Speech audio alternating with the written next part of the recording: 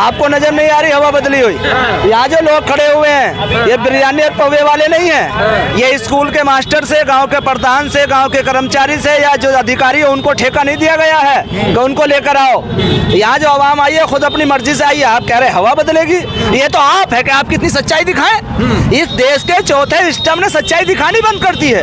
एक लाखों की तादाद में किसान पड़े हुए हैं वो आप नहीं दिखा रहे गलती आप गलती इनकी भी नहीं बेचारे। इनको डरा दिया गया है कि हमारे पास ईडी और सीबीआई है। हाँ आप हमारे पास जेल बहुत बड़ी है। आपके चैनल बंद कर दिए जाएँगे। इन भाइयों को भी अपने चैनल बचाने हैं। पर आपको मानना होगा सरदार भगत सिंह की तरह ना जाने कितने युवा अब राहुल गांधी जी के पीछे निकल चुके हैं कि देश को बचाना है। ना योगी की जेल हमें बस पीछे हटा सकती है ना योगी की ईडी ना सीबीआई हमें हटा सकती है। हवा तो ऐसी चल रही है कि ये देखते रह जाएँगे कि हवा कौन सी चली है। अगर मैं बता दूँ आपको तो दिखा देना। पर मुझे डर लगता है कहीं मुझे पाकिस्तानी घोषित ना करते बिल्कुल बिल्कुल। पर मैं भारतीय हूँ। मेरे दादा ने इस देश को आज़ाद कराने के लिए हिस्सा लिया था जंग में। नमस्कार आदाब। राहुल गांधी का भारत जोड़ो न्याय यात्रा उत्तर प्रदेश के संगम नगरी यानी प्रयागराज में पहुँच चुकी है। प्रयागराज वही जो हमारे देश के प्रथम प्रधानमंत्री पंडल पंडित जवाहरलाल नेहरू साहब फूलपुर से सांसद बने थे उसी हम लोकसभा क्षेत्र के प्रयागराज में। हमारे साथ तमाम लोग हैं अब इनसे जानने का प्रयास करेंगे कि राहुल गांधी के आने से कितना प्रभाव डाल सकते हैं इस लोकसभा चुनाव में। चलिए आपसे शुरुआत करते हैं सर। राहुल गांधी आप लोग के प्रयागराज में पहुँचे क्या लग रहा है क्या माहौल है? माहौल देखिए पूरी तरह से तैयार है। पूरी तरह से माहौल में हम लोग तैयार हैं। जो देश के आम जनमानस और इस प्रयागराज के धरती से हैं वो सभी राहुल जी को चाहते हैं और चाहते हैं कि वो 2024 में प्रधानमंत्री बने और ये जो भ्रष्टाचारी और घुसखोरी बेमानी अन्याय के खिलाफ जो ये सरकार है उसको उखाड़ फेंकना है। लेकिन क्या लग रहा है यहाँ तो भाजपा दावा कर रही है अस्सी में अस्सी हम जीत रहे हैं उत्तर प्रदेश से? नहीं भाजपा बोलने को तो बोल दिया चार सौ पार क्या वो चालीस पार हमें लगता नहीं आएँगे। ये कहना कुछ और है वो जनता है जनता जनार्दन जिसको जो चाहेगी वो बनाएगी। क्या लग रहा है सर राहुल गांधी इलाहाबाद पहुँचे कुछ माहौल बदलेगा लोकसभा में? माहौल नहीं बदलेगा इसमें समय घबराहट। बीजेपी की समय घबराहट साफ़ बता रही है कि वो पूरी तरीके से उनको ये विश्वास हो गया है कि हम चुनाव अब इस बार जीत नहीं रहे हैं। इसलिए वो तमाम ईडी से लेकर जो इनके फ्रंटल बना दिए हैं, जो हमारी सरकारी संस्थाएँ थी, उनको ये फ्रंटल बनाकर इस्तेमाल कर रहे हैं और ये विपक्ष के नेताओं के ऊपर ईडी सीबीआई लगाकर डरा धमका के अपने पार्टी में शामिल करा रहे हैं। जिससे ये साफ़ ज़ाहिर हो रहा है कि ये पूरी तरीके से डर चुके हैं और इनको विश्वास हो गया है कि अब हम इस बार आ नहीं रहे हैं। इसलिए ये अंतिम प्रयास कर रहे हैं कि उसमें कुछ इज़्ज़त बचाने के लिए विपक्ष में बैठने के लिए इनके इनके पास कुछ सीट आ जाए। लेकिन भाजपा तो कह रही है अब की बार फिर से मोदी सरकार 400 पार होने जा रहा है। हम आपको बता दिए हैं ये 400 पार नहीं। चालीस। ये मुश्किल से अगर ये पचास सीट डाक जाए तो मैं मानूँगा कि ये ये मतलब कुछ अपनी इज़्ज़त बचा लिए। तो क्या लग रहा है मोदी जी तीसरी बार प्रधानमंत्री बनेंगे या बदलाव होगा? प्रधानमंत्री प्रधानमंत्री पचास सीट में कोई प्रधानमंत्री बनता है? प्रधानमंत्री बनने का तो प्रश्न ही नहीं है। अब हम हम, हम बता रहे हैं ये अपने संसदीय क्षेत्र बनारस में हार रहे हैं चुनाव। इनको तो मैं एक सलाह दूँगा कि अगर ये गुजरात में अगर ये अगर थोड़ा बहुत अगर वहाँ पे इतने इतने साल मुख्यमंत्री रहे अगर उसको उ- उ- उसको अगर काम अगर किए हैं तो बनारस वहाँ क्या कहते हैं गुजरात से चुनाव लड़ जाए हो सकता है ये बच जाए। आप क्या चाहते हैं राहुल गांधी प्रधानमंत्री बने या मोदी जी? हम लोग तो बत... राष्ट्रीय राहुल गांधी जी, जो जिनका विजन पूरे देश को लेकर है, जो इतने मतलब अनुभवी जी, अनुभवी नेता हैं कि मान लीजिए कोरोना से पहले प्रेडिक्ट किए थे, उसका आप लोग जानते ही हैं कि किस प्रकार से लापरवाही की गई पहले जबकि राहुल गांधी ने चेताया था। तो ऐसे इकोनॉमिक्स पे किए थे, ऐसे पेटीएम पे पेटीएम पे भी किए थे पी मोदी। जिसको आज क्या नौबत आ गई कि पेटीएम को बंद करने की स्थिति आ गई है। तो राहुल गांधी जी बहुत दूरदर्शी हैं इनके तरफ़ फर्जी डिग्री नहीं रखे हैं। कि ये डिग्री जब मांगा जाएगा तो ये कहेंगे भैया हमारी यूनिवर्सिटी का पता नहीं है। वो तो सीना तान के बता रहा है कि हम विदेश की यूनिवर्सिटियों से हार्वर्ड यूनिवर्सिटी से हम पढ़ाई किए हैं। अच्छा राहुल गांधी पहुँच रहे हैं। क्या लग रहा है कुछ हवा बदलेगी इलाहाबाद की? हवा बदलेगी? हाँ। आपको नज़र नहीं आ रही हवा बदली हुई? यहाँ जो लोग खड़े हुए हैं। ये बिरयानी और पवे वाले नहीं हैं। ये स्कूल के मास्टर से गाँव के प्रधान से गाँव के कर्मचारी से या जो अधिकारी है उनको ठेका नहीं दिया गया है कि उनको लेकर आओ। यहाँ जो आवाम आई है खुद अपनी मर्ज़ी से आई है। आप कह रहे हवा बदलेगी? ये तो आप है कि आप कितनी सच्चाई दिखाएँ? इस देश के चौथे स्टम ने सच्चाई दिखानी बंद कर दी है। एक लाखों की तादाद में किसान पड़े हुए हैं वो आप नहीं दिखा रहे। गलती आप। गलती इनकी भी नहीं बेचारे। इनको डरा दिया गया है कि हमारे पास ईडी और सीबीआई है। आप हमारे पास जेल बहुत बड़ी है। आपके चैनल बंद कर दिए जाएँगे। इन भाइयों को भी अपने चैनल बचाने हैं। पर आपको मानना होगा सरदार भगत सिंह की तरह ना जाने कितने युवा अब राहुल गांधी जी के पीछे निकल चुके हैं कि देश को बचाना है। ना योगी की जेल हमें बस पीछे हटा सकती है ना योगी की ईडी ना सीबीआई हमें हटा सकती है। हवा तो ऐसी चल रही है कि ये देखते रह जाएँगे कि हवा कौन सी चली है। अगर मैं बता दूँ आपको तो दिखा देना। पर मुझे डर लगता है कहीं मुझे पाकिस्तानी घोषित ना करते।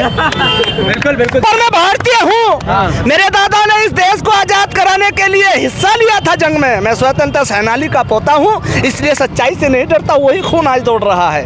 पाकिस्तान के भावी प्रधानमंत्री को जेल में डाल दिया गया। उसका चुनाव चिन्ह छीन लिया गया। उसके प्रत्याशियों को सभा करने दी ना वोट मांगने दिया। वहाँ की जनता ने कहा कि यहाँ नफरत का जहर घोलने वाले हिंदू मुस्लिम करने वाले भारत पाकिस्तान करने वालों को नहीं। अब अच्छे आदमी को लाना है और निर्दलियों को 101 सीट देकर उन्होंने बहुमत देने का काम किया है। मेरे भाइयों इसीलिए यहाँ की जनता ये कह रहे ना कांग्रेस में कुछ नहीं है कांग्रेस में सब चले गए। अरे मैं ये कह रहा हूँ ये भाजपा कह रही है कांग्रेस मुक्त भारत बनने जा रहा है। अरे ये उसका धोखा है। ये भारत भारत कांग्रेस मुक्त नहीं भाजपा मुक्त बनने जा रहा है। कांग्रेस में वो लोग जो आरएसएस के थे जो मतलब परस्त थे जो कांग्रेस को खोखला कर रहे थे वो भागते नज़र आ रहे हैं क्योंकि उनके मन में जो था वो बीजेपी के माइंडेड आदमी थे वो जा रहे हैं। कमलनाथ जी तो छोड़ने वाले हैं मध्य प्रदेश के पूर्व मुख्यमंत्री आप लोग। सुनिए ऐसी ये सब अफवाह है और कोई चला भी जाएगा तो कांग्रेस पे कोई फ़र्क नहीं पड़ेगा। अच्छा। सीधी सीधी बात है। आपको क्या लग रहा है सर राहुल गांधी आप लोग के इलाके में आए हैं प्रयागराज? नहीं राहुल गांधी जी आ रहे हैं उनसे पहले उनकी खबर आने से ही बहुत ज़्यादा माहौल बदल गया है और छात्रों में एक जोश भरा है। आए दिन आप देख रहे हैं प्रतियोगी जो छात्र हैं परीक्षाओं के छात्र हैं वो आत्महत्या कर रहे हैं क्योंकि कभी पेपर लीक हो जाता है कभी उनके ऊपर लाठियाँ बरसाई जाती हैं भर्तियाँ समय से नहीं आती हैं आती हैं तो एकदम ऊट के मुँह में जीरा टाइप आती हैं। पाँच हज़ार भर्ती आ गई दो हज़ार भर्ती आ गई।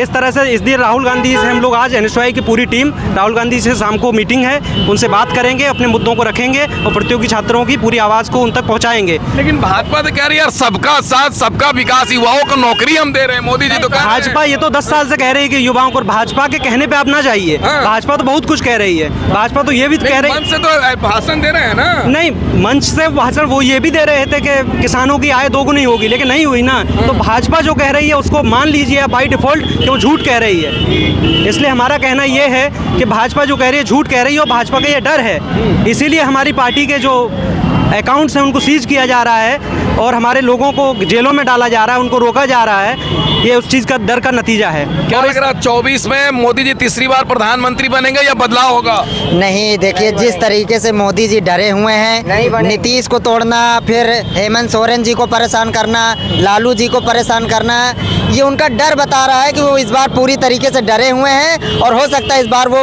बनारस से भी, भी चुनाव हारने का काम करेंगे। मोदी जी बनारस से हार जाएँगे। बिल्कुल बिल्कुल असंभव नहीं है। बिल्कुल असंभव नहीं है ये संभव होने जा रहा है इस बार आप। अच्छा। इस बात को आप दिखाइए इस बात को आप मानिए। जनार्दन क्या कह रही है? बनारस की जनता जनार्दन मन बना लिया है की मोदी जी को बनारस से उखाड़ फेंकना है। मोदी जी हाँ उनकी अब दाल गलने वाली नहीं है। अच्छा क्या कह रहे हैं चाचा? भाजपा मतलब सत्रह गुणों से युक्त भाजपा पार्टी। हाँ। जुमलेबाज झूठा। कपटी चोर धोखेबाज बेईमान रड़ुआ भड़ुआ साधु सन्यासी किन्नर मौलवी बलात्कारी। समझे ना? बहुरूपिया ये भाजपा का रूप है। राष्ट्रवादी वो तो राष्ट्रवादी पार्टी है ना? राष्ट्रवादी नहीं अच्छे दिन अगर आए हैं तो सिर्फ़ दो के आए हैं। और बाकी देश में तो सब सत्यानाश ही हुआ है। लड़के बेरोजगार लड़के आत्महत्या कर रहे हैं न जाने कितने आत्महत्या कर चुके हैं। सैनिकों के हाथ में क्या क्या कर रहे हैं? सैनिकों के हाथ में अग्निवीर थमा दिया गया है। बताइए ये बीजेपी की स्कीम है। बताइए हम एयरफोर्स एयरफोर्स में पूरी तरह से क्वालिफाइड हूँ। बट हमें अग्निवीर का झांसा दे करके बाहर कर दिया गया। अब कहा गया है कि पूरी तरह से तुम लोग अग्निवीर के थ्रू एंट्री करो और चार साल बाद बाहर आ जाओ। ये कोई बताइए, युवाओं के साथ अच्छा अन्याय हो रहा है। ये बताइए अच्छा है? आप सब लोग बताइए। ऐसा नहीं होना चाहिए। क्या कह रहे हैं? दरअसल हम आपको बता देना चाहते हैं, ये हर एक मुद्दे पे, चाहे युवा हो गया, चाहे रोज़गार पाने वाले हमारे साथी हो गए, किसान हो गए या महिला हो गई या फिर जो मेहनत कस हम ये बता दे रहे हैं मनरेगा में ये उसका बजट कम कर दिए। क्योंकि ये कांग्रेस स्कीम लेकर आई थी और ये कोविड के दौरान सबसे ज़्यादा आम जनता की मदद ये मनरेगा ने किया। लेकिन उसको उसको उसको ये हमेशा कोसते रह गए। लेकिन जब कोविड में आम जनता को लाभ पहुँचाया तो इसको तो बंद कर नहीं सकते लेकिन उसका ये बजट कम कर दिए। डेली बेसिस आदमी जो रोज कमाता खाता है उसको अगर 100 दिन या 120 दिन का अगर घर में काम मिल गया तो बताइए अगर अगर वो काम मिल गया तो बेचारे के घर की स्थिति तो कुछ चल चलने वाली थी। अब जब उसको काम ही नहीं मिल रहा तो करेगा क्या? और वर्तमान समय में भी परीक्षार्थियों को आपको बता देना चाहते हैं। परीक्षार्थी इतनी समस्या रहती तो भाजपा चुनाव जीत कैसे रही है? जहाँ जहाँ चुनाव देखिए देखिए एक चीज़ हम बता दे रहे हैं। ये मीडिया मैनेजमेंट करते हैं। मीडिया जो इनके जो गोदी मीडिया हम लोग कितनी बार बालसन से ये गोदी गोदी एंकर जब आते हैं तो हम लोग भगाने का काम किए हैं। गो गो बैक गोदी मीडिया का नारा लगा के इनको भगाने का काम करते हैं। क्योंकि ये दिन रात पेरते रहते हैं, ये जो मेन राहुल गांधी हमारे नेता क्या कहते हैं कि मेन स्ट्रीम मीडिया में आपको कहीं कोई किसान नहीं दिखेगा, कोई बेरोजगार नहीं दिखेगा, कोई कोई रोज़गार मांगने वाला नहीं दिखेगा। इस समय अगर ये अग्निवीर योजना लाए हैं, सबसे फ्लॉप सेना के रिटायर सेना के रिटायर अफसर जब खुद बोल चुके हैं, ये योजना लाने की कोई औचित्य नहीं था। जब हमारे जब हमारे यहाँ स्कीम थी पंद्रह साल पंद्रह साल सेना में करने के बाद उसको शहीद का दर्जा भी मिलता था उसको पेंशन मिलता उसको पूरे परिवार की सिक्योरिटी थी। उसके बाद ये युवाओं के साथ छलावा करने के लिए आप चार साल रख रहे हैं उसके बाद ना उसको न पेंशन मिल रहा है न उसको शहीद का दर्जा मिल रहा है। अगर चार साल में कोई बॉर्डर पर कुर्बानी अपनी दे दे तो ये बताइए कितना उस, उस परिवार के साथ कितना बड़ा कुछ हारा घात होगा कि उसको शहीद का दर्जा तक न मिले।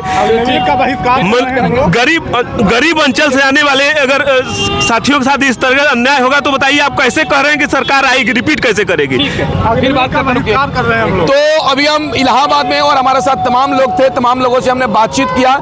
इस वीडियो के बारे में आप क्या सोचते हैं कमेंट करके बताएँ और हमारे चैनल से नहीं जुड़े तो सब्सक्राइब करके जुड़ जाए। धन्यवाद।